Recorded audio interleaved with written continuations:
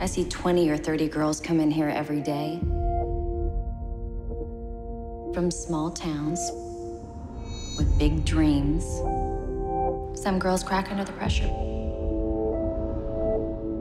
You? You're going to be great.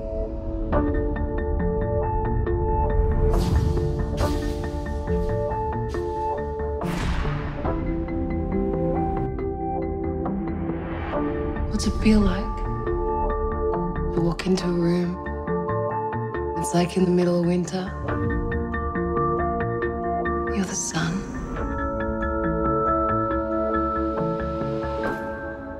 It's everything. You know what my mother used to call me? Dangerous.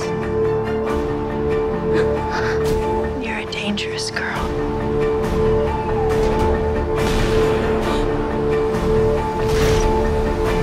She was right. I am dangerous.